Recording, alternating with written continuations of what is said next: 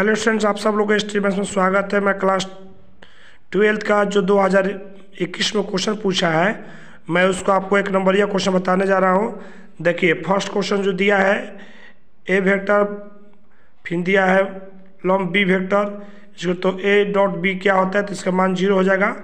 फिर दूसरा में दिया आई वेक्टर कोस्ट फिर इंटू कोस्ट में जे वेक्टर फिर गुने जे के वेक्टर को जो मान दिया है, इसका मान जो हो जाएगा एक हो जाएगा, ठीक है? फिर तीसरा में इसका आंसर सी हो जाएगा और एन स्क्वायर जो दिया है, इसका मान जो दिया है, ये आप देखिए तो इसका मान हो जाएगा बी एक हो जाएगा। देखिए क्वेश्चन नंबर चार, पाँच में देखिए।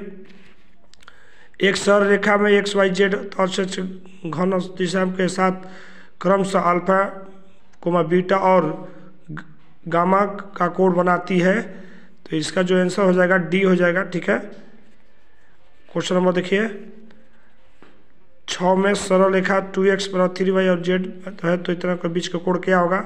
जब इसको सॉल्व कीजिएगा तो इसका आंसर हो जाएगा आपका ए पाई बाई टू आ जाएगा। फिर देखिए, यदि ए बी और सी तीनों स्वतंत्र है तो इसके लिए हम लोग आंसर चुन लेंगे सी को। ये स्वतंत्र माने जाते हैं ए बी सी के मान। फिर A plus P A dash का मान जो होता है, आठ क्वेश्चन नंबर का आंसर ये हो जाएगा आपका बी एक हो जाएगा। ठीक है, नौ में जो दिया है क्वेश्चन देख, पढ़ लीजिए। और जो दिया है इसका नौ का आंसर हो जाएगा बी। ठीक है, दस में जो दिया है, z bar three x plus अधिकतम मान जहाँ, अब इसको जब हॉल कीजिएगा तो इसका आंसर जब निकालिएगा तो इसका आंसर मिलाइएगा तो दस का हो जाएगा आपका लोग का सी, सोलह। फिर cos inverse one minus x square पर वन इसका क्या फॉर्मूला होता है तो इसका सी हो जाएगा। उसके बाद देखिए थ्री साइन इन्वर्स से तो पूछ रहा है कि इसका मान क्या होगा? ये आपको इसलिए बता दे रहे हैं ताकि आपको समझ में बैठे बैठे क्या कीजिएगा। आप चुपचाप ईयरफोन लगा कर उसको पढ़ सकते हैं।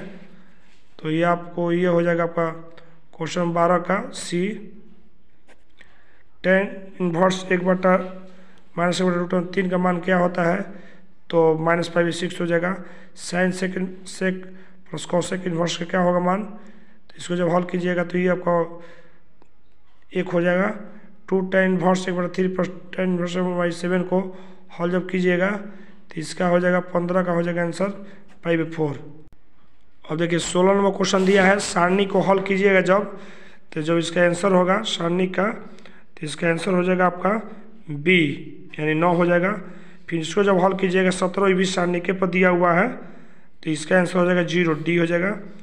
और फिर देखिए, दिया है सारणिक इतना का मान क्या होगा? अठारह का तो इसका आंसर बी होगा, ठीक है? अब देखिए, उन्नीस का जो क्वेश्चन दिया है, कह रहा कि इतना है तो इसका आंसर क्या होगा?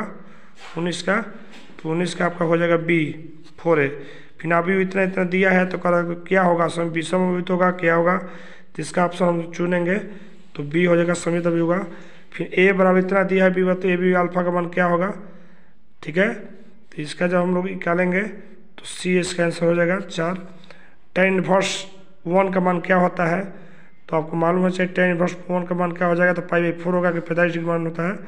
कॉस्ट हो जाएगा आपका cos sec sec x minus plus cosec inverse sec inverse x plus cos inverse cos inverse का मान क्या हो जाएगा? तो इसका आप जब देखिएगा तो इसका आंसर सी होगा। और देखिए cos cos cos square minus plus हो गया तो इसका मान बी हो जाएगा चौबीस। फिर जब पच्चीस का जब इसको देखिए क्वेश्चन देख लीजिए, जब इसको सॉल्व कीजिएगा पच्चीस को तो इसका आंसर हो जाएगा बी। टेन इन्वर्स रूट अंदर एक्स, रूट अंदर three minus cot inverse minus root अंदर थ्री का मान क्या होगा? छब्बीस का। तो छब्बीस का आंसर हो जाएगा सी। और यदि इसको हॉल जब कीजिएगा, ए स्क्वायर बोल रहा है तो इसको जब हॉल करने के बाद जो आपका आंसर आएगा सत्ताईस का, वो होगा बी अट्ठाईस में दिया है ए ए डॉट ए का मान क्या होता है? वेक्टर डॉट ए वेक्टर का मान क्या होता है? अट्ठाईस का तो इसका आपको बतेबे किए हैं। इसका जब हो जाएगा तो सी हो जाएगा। और देखिए, उनतीस को जो मान दिया ही दिया है कि यदि इतना बड़ा इतना है तो क्या होगा इसका मान? तो इसका मान हो जाएगा बी एक बट दो। और देखिए क्वेश्चन नंबर आपको क्वेश्चन नंबर आपको दे दिया तीस कहते हैं मपांक क्या होता है? तो मपांक तीनों का मोड निकाल देते हैं स्क्वायर में ले जाकर। तो तीस का हो जाएगा इसका b answer t by d x tan inverse square का फॉर्मूला क्या होता है? इसको ऑकलस के रूप में तोड़ेंगे तो, तो इसका आपका इकतीस का हो जाएगा आंसर बी फिर देखिए डी बाई डी एक्स इसका बताइए क्या बोल रहे हैं कि बत्तीस का क्या होगा? बत्तीस का आंसर सी हो जाता है। फिर डी बाई डी एक्स फिर sine verse three x minus four x square के मान क्या होगा? तो इसको जब हल कीजिएगा तो इसको जब हल कीजिएगा तो आपको मिलेगा तैतीस का सी देखिए T by D X sine inverse root x का मान क्या होता है? तो इसको जब हल कीजिएगा आप तो उम्मीद है कि लगभग आपको चौंतीस का डी हो जाएगा। फिर पैंतीस का देखिए d by d x two tan वर्ष के मान क्या होता है? तो इसको जब उपकरण करिएगा पैंतीस को तो बी हो जाएगा। और इसको जब देखिए, छत्तीस में जो दिया है क्वेश्चन पढ़ लीजिए, और इसका फॉर्मूला क्या होता है? तो इसका मान क्या होता है? तो पूछा है छत्तीस का तो छत्तीस का सी ज़ीरो हो जाएगा। फिर देखिए, सैंतीस का जो मान दिया दिया है, इसको जब सॉल्व कीजिएगा सैंतीस को तो इसका आंसर बी जाएगा ज़ीरो इसका भी आएगा।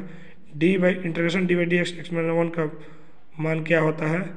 इसका सी हो जाएगा log mod x minus one plus के औकलीय समीकरण इसका तो साइन की साइन एक्स का कोटी क्या होगी? तो कोटी आपको पूछ जाएगा तो इसका आंसर आपका दो हो जाएगा, क्योंकि दो इसका आगे है। और देखिए इसका चालीस में जो क्वेश्चन दिया है, चालीस में आपको क्वेश्चन ये दिया है कि चालीस में क्वेश्चन दिया गया integration x power four minus one plus one के चालीस का क्या होगा? तो इसका आंसर डी हो जाएगा।